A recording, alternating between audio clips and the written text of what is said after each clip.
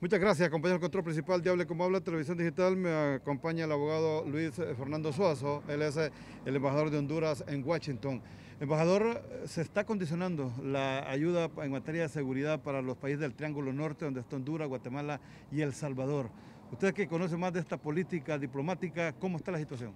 Bueno, esa está más orientada a, congelar o a reducir el apoyo eh, en la parte militar eh, esa parte no es, eh, en términos de fondos que Honduras recibe, no está significativa. La relación de nuestras Fuerzas Armadas y las Fuerzas Armadas de Estados Unidos es muy cercana. Se trabaja conjuntamente y no va a tener unos efectos eh, importantes en la operatividad y en la cercanía de las fuerzas eventualmente. Lo que requiere este proceso es información que el Departamento de Estado va a tener que entregar al, Senado o al Congreso en Estados Unidos para eh, saber que nosotros estamos avanzando en los procesos y que los procesos se respetan.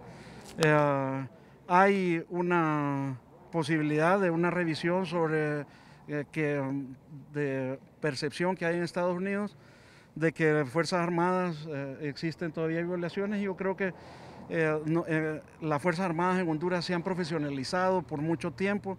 Eh, todo el mundo está, no solo con su carrera militar, tienen profesiones aparte, se actúa y se piensa de otra manera, se respetan los derechos humanos y la gente que ha estado excediéndose de las políticas de protección de derechos humanos se han estado presentando a juzgados regulares y eh, que cada quien debe de defenderse, pero las políticas están bien claramente definidas. En cuanto al TPS, eh, todo esto, ¿cómo es este proceso para mm, más de 40 mil hondureños que residen en Estados Unidos? Bueno, ese TPS lo que, lo que decidió la administración eh, recientemente fue extender los permisos de trabajo hasta agosto del próximo año. Eso automáticamente mantiene vivo, digamos, este TPS y la promesa en la, en campaña Biden era que a todas las personas que tenían TPS se les iba a conceder o se les iba a buscar un proceso para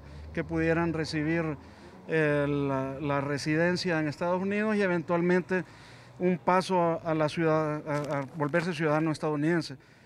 Ese proceso es un proceso que es complicado para la campaña, tiene que eh, ser apoyado o pasar por el Congreso y para eso negociar una nueva legislación con los republicanos. Ya sabemos cuál ha sido la política actual del Partido Republicano eh, y veremos la posibilidad que tenga o la fuerza política que tenga la administración Biden para que eso se vuelva realidad. Finalmente, embajador, eh, para la próxima semana están previstos dos caravanas de Estados Unidos. ¿Esto puede afectar estos procesos eh, para los migrantes hondureños? Mire, yo más me quisiera referir a, las propias personas que están pensando en sumarse a una caravana.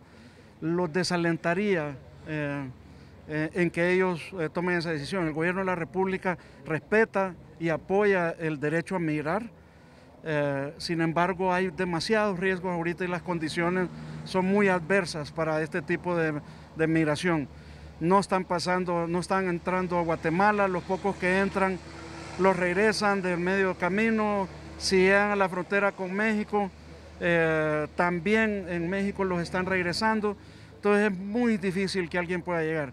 Y por el otro lado, eh, si llegan, no se incluirían, con toda seguridad no se incluirían en, un nuevo TPS que ya el gobierno de la República ha solicitado, una redesignación de TPS, eh, y que será para los que ya estaban, los hondureños que ya estaban en Estados Unidos.